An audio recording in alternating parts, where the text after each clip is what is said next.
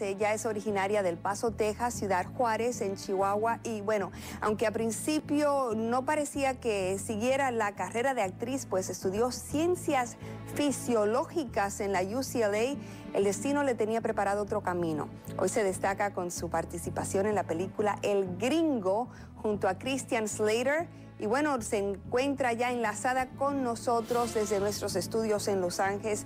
En Los Ángeles, encantadísima de que estés con nosotros.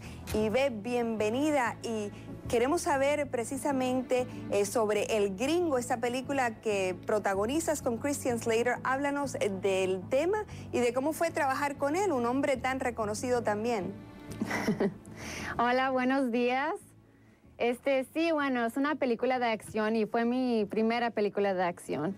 Y este, trabajar con Christian Slater otra vez, porque sí trabajé con él antes en Without Men, este, bueno, fue fantástico, no lo pude creer, este, estar con él y bueno, este, creciendo viendo sus películas y luego estar ahí siguiente con él en, esta, en El Gringo, fue, no sé, como un sueño.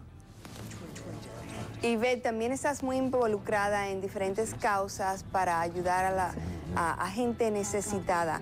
Cuéntanos eh, de qué manera te involucras y por qué sientes esa necesidad. Bueno, para mí, siendo de la frontera del Paso y Ciudad Juárez, es, es importante promover la educación para mí y este, los temas de la frontera que, bueno, siempre uno ve la, la violencia, lo que está pasando especialmente en Juárez y este quiero este representar este lo latino y la latina este en el cine con algo positivo. Entonces para mí eso es importante y para enseñar que no somos las víctimas que sí somos fuertes y que hay mucho que hacer. Y bueno ahorita sí sí lo este lo latino sí somos este la mayoría ahorita no y Beth, siendo de esa zona que yo he visitado también a propósito, y donde vive tanta gente tan cálida y tan maravillosa, ¿qué, piensas tú de, la cerca, de, ese muro que han ido levantando a través de partes de la frontera de los Estados Unidos con México? ¿De qué manera afecta a la gente que, vive, que ha nacido y que, que pasa toda su vida cerca de la frontera, quizá en ambos lados de esta frontera?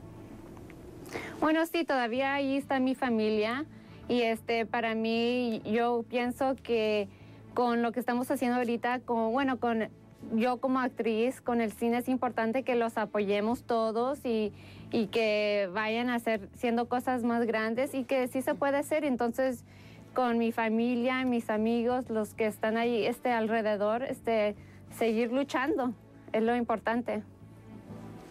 ¿Alguna vez te sentiste discriminada por haber eh, nacido en esa zona, una zona que, que para tantas personas es, una zona eh, a donde los hispanos no deberían pertenecer?